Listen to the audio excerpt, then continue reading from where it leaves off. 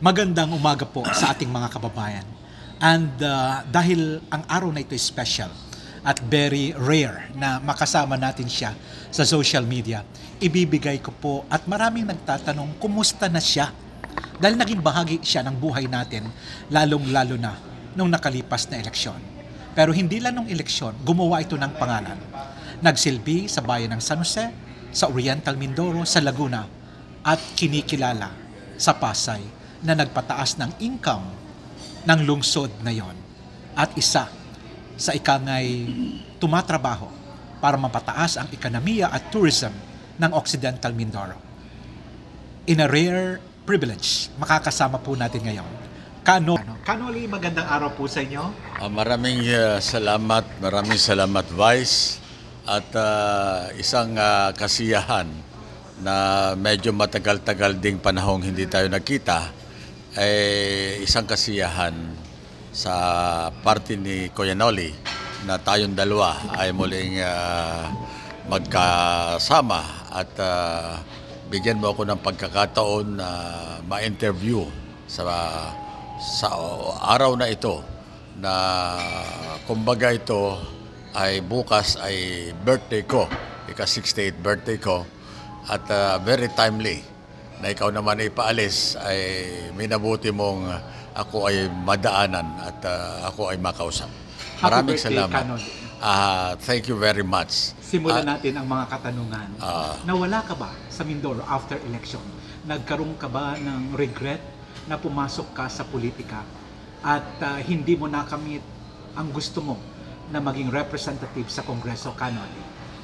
Well, ang politika sa akin ay nagdaan na at uh, I have no regrets whatsoever.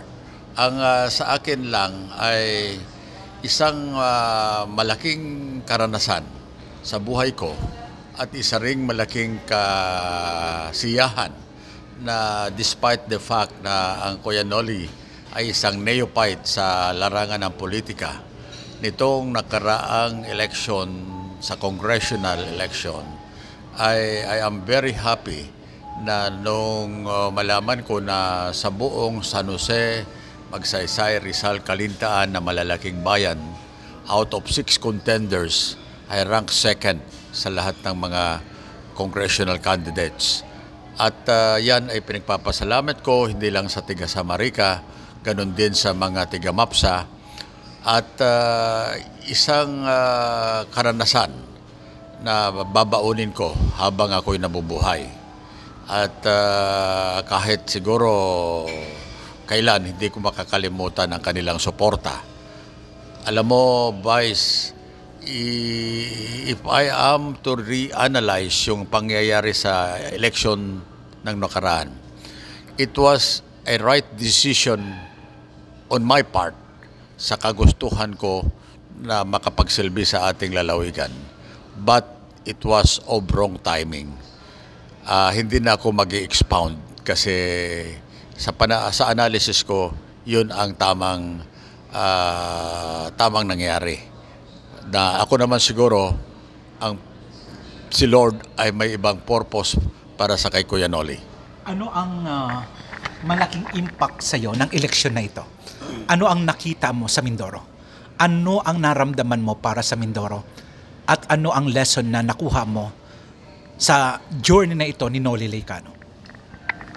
It's actually a humbling experience para sa akin.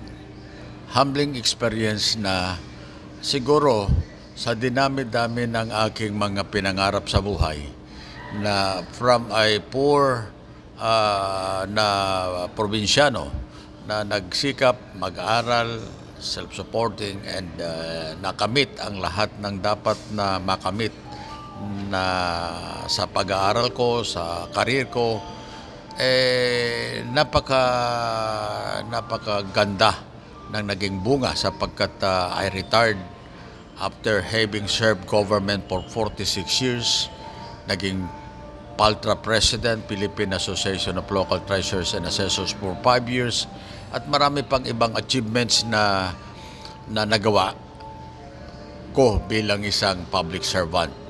And the good thing, I was able to retire na untainted yung aking reputation as a public servant because at that time na ako ay nagsiservisyo sa gobyerno, ang lagi kong iniisip, Vice, ay I need to serve the government ng talagang with all my wisdom, knowledge, and do the best I can do.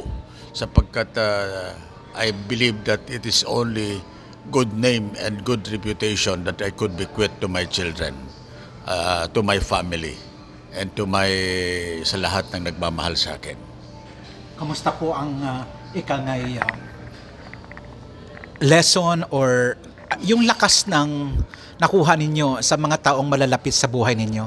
Papaano kayo humugot ng lakas mula sa pamilya ninyo na for 40 years, no? ho? At the same time, eh, ano ang ikangay uh, naging message nito sa pagkatao ng Noli Laicano?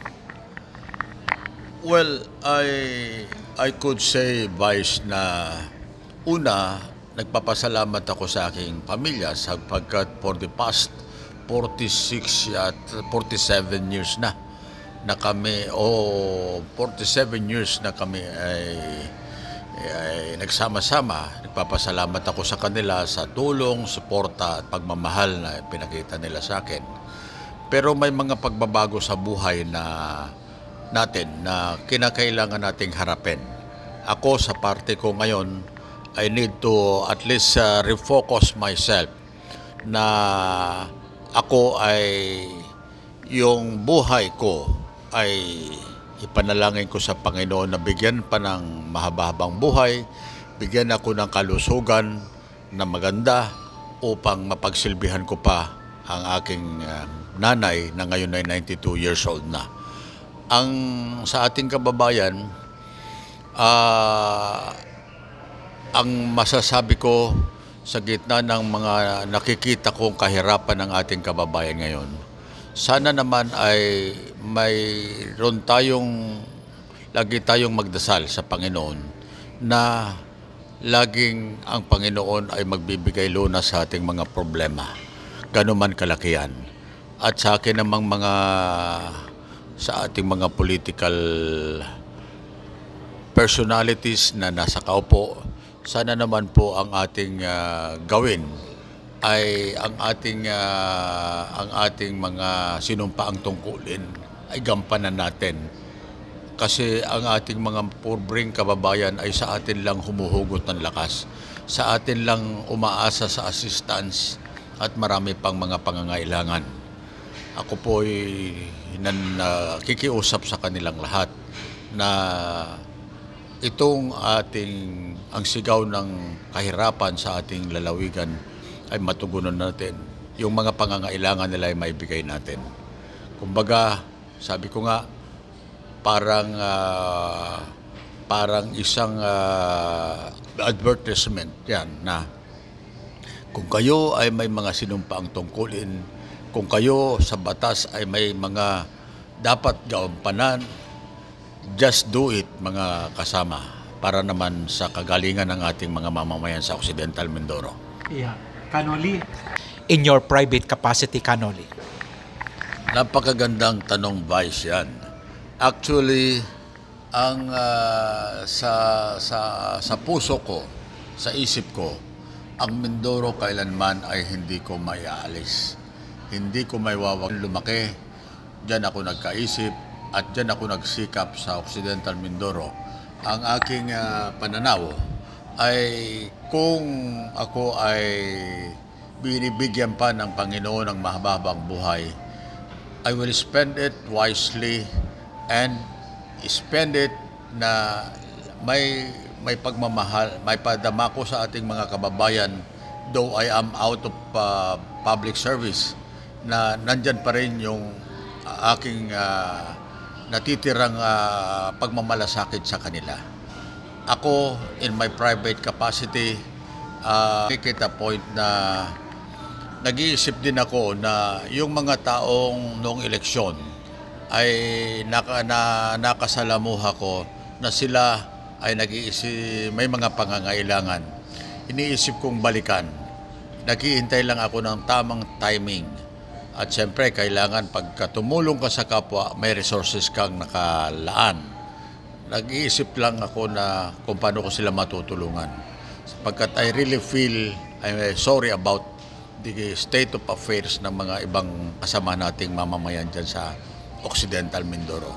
But I would commend uh, yung, alam mo, si GovEd, eh, mabuting tao at yan naman eh, ilang pagkakataon din na nakasama ko eh maganda naman yung maganda naman yung kanyang mga plataforma at sana naman magpatuloy sila sa kanilang mga magandang ginagawa. Kang Noli, babalik ka ba sa politika?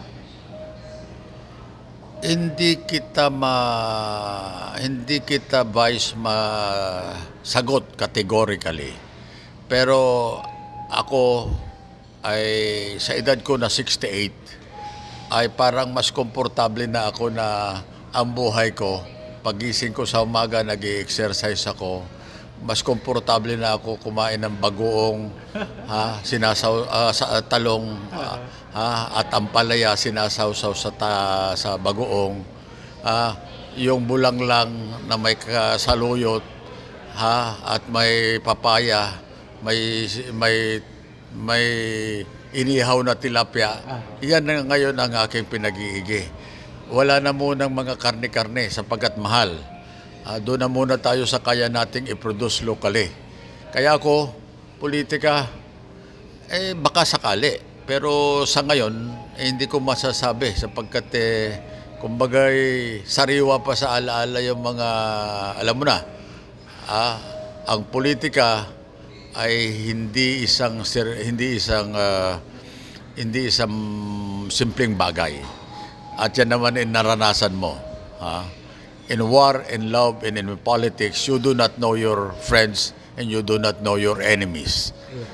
Kayo po ba ay ah, kung sakaling aalukin din ng national government to serve the country in a national scope, ah, willing ka pa rin ba na i-share ang expertise mo, Kang Noli? Well, uh, I am always, uh, ah, nandito lang naman ako. Ah, nandito lang naman ako sa sa Mindoro. At ako naman ay kung kumbaga any knowledge gain, any knowledge gain, any na- Lalo na sa kabataan, no? Or sa mga nagsisimulat ng dyan na. Kasi hindi lahat nakarating sa edad mo na accomplish in everything, in name, in wealth, in family, in everything. Paano ba maging isang matatag na tao at successful na tao at maging Noli Lican? Ah, alam mo, Vice, I have repeatedly said this ah, sa, sa aking mga kababayan. Hindi importante kung sino ka ngayon. Ang mas mahalaga ay kung magiging sino ka sa dakong hinaharap. Ang kahirapan is just part ng buhay natin. Kung tayo mahirap na pinanganak ay maging masikap lang tayo, masipag, at laging magkaroon ka tayo ng ah, pagkilala sa Panginoong Diyos na gumagabay sa atin.